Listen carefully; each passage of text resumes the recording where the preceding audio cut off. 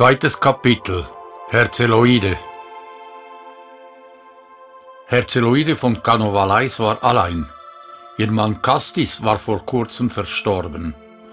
Nun war sie nicht nur stolze Chefin eines Jazzclubs, sondern auch Besitzerin der Plattenfirmen Valais in Orgals. Kieber, ihr Geschäftsführer, betonte immer wieder, dass es einen neuen Mann bräuchte, um das Unternehmen in Schwung zu halten. Mit dieser Idee im Hinterkopf ging man daran, ein großes Musikfestival zu organisieren.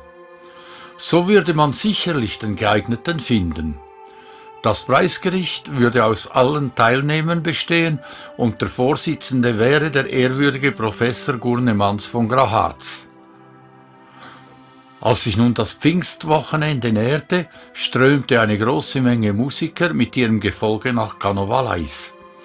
Darunter sah man Gachier von der Normandie, Hardis aus der Gascogne, Lot von Norwegen, Morholt der Ire, Schiolarz von Putuve, Ute Pandragon der Brite, Brande Lidalin aus Punturtois, Keilet von Hispanien, um nur die wichtigsten zu nennen.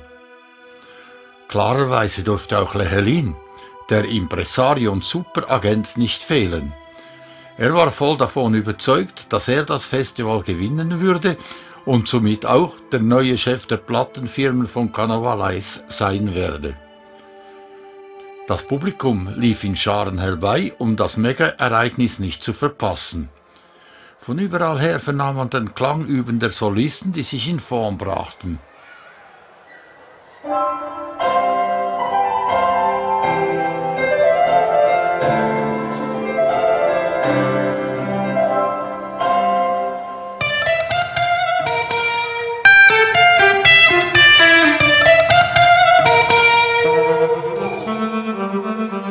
Uh...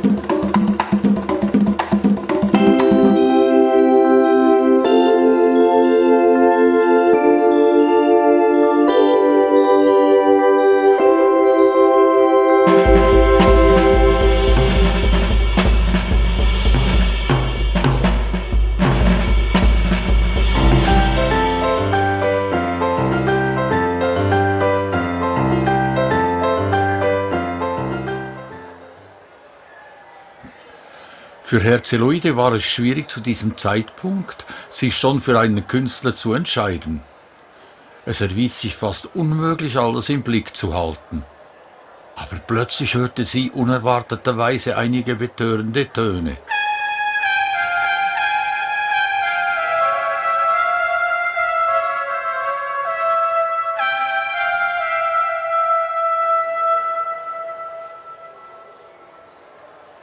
Sie hatte keine Ahnung, wer der Trompeter war.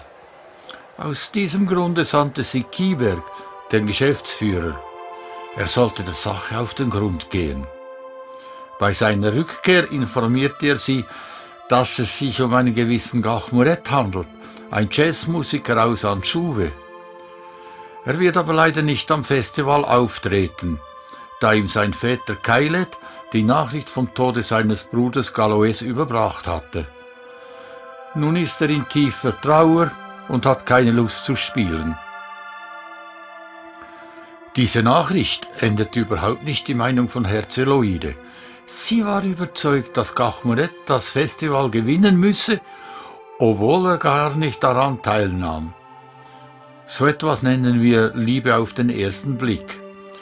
Um die Sache völlig klarzustellen, schlich sie in später Nacht zu Gachmaret und schlief ihm bei. Am letzten Tag des Festivals kam das Preisgericht wie vereinbart zusammen, um den Gewinner zu küren, obwohl das ja nur noch der Form halber geschah. Der Gewinner war klarerweise Gachmuret, trotz einiger kleinlicher Beanstandungen. Selbst der Grund, den Lehelin vorbrachte, dass Gachmuret ja schon mit einer anderen verheiratet sei und außerdem mit der noch ein Kind hätte, oder die Klage der Sängerin am Dass er ihr seit frühester Jugend versprochen sei, fruchteten nichts. Noch am selben Tag wurde die Hochzeit gefeiert. Gachmuret war nun Mann Herzeloides und Mitbesitzer des Jazzclubs und der beiden Plattenfirmen.